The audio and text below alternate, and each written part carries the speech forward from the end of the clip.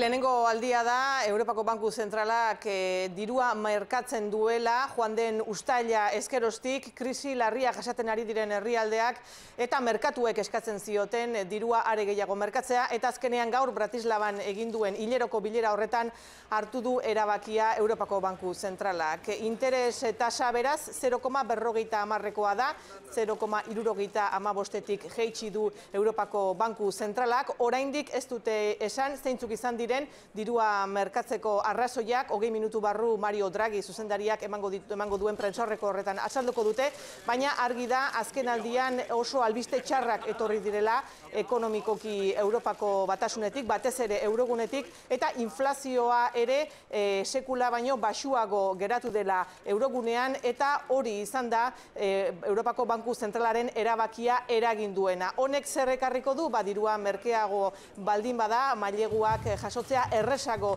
izan beharko luke eta hori da hain zuzen ere Europako batasuneko herrialde gehienek Alemaniak ez ezik eskatzen zutena.